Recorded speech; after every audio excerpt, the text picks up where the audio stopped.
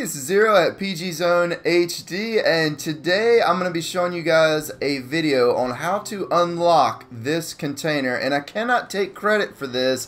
I actually had a comment posted on the channel asking me how to open it. I dug around, I couldn't figure it out myself and luckily the person that posted that, they came back and they gave me a link for a video for someone else that had figured this out. So there's actually a couple buttons as you can see that's right across where the train tracks are. And, you know, I think eventually I might have figured this out if I had kept going through this area doing every single thing over here.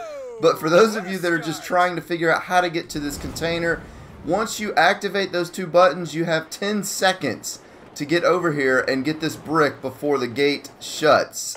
Which I barely, I really just made it in there right as it shut. And now I might be stuck in there. I don't know. so I don't know what just happened right there. Am I stuck in the container? I think he is. Let's try that one more time. I was too busy talking. Alright, so after a little blooper and a glitch and having to restart my game, let's see if we can get it this time. So, where is my other character? I think they're still up top. Let me jump down and let me get on this button. Where's my other character? Bam! Alright, let's open up this container and we're gonna make sure to start flying as soon as it switches back over here. Yeah so you definitely want to make sure that if you do manage to get inside the crate to get that you have enough time to get the brick. Because you have what like 11 12 seconds to get over here. Oh wow I didn't hit the burst until just then. I couldn't tell if it was bursting or not. There we go.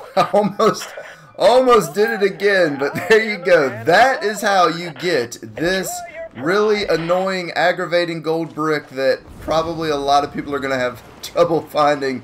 But if you want to give a thank you to the person that originally posted the video, I will put a link in the description. So if you want to give them a thanks, you know, be sure and do that. Like, whatever, subscribe. Hope you guys enjoyed the video. Hope it helps you out a little bit. This is Zero at PG Zone HD. And as always, thanks for stopping by.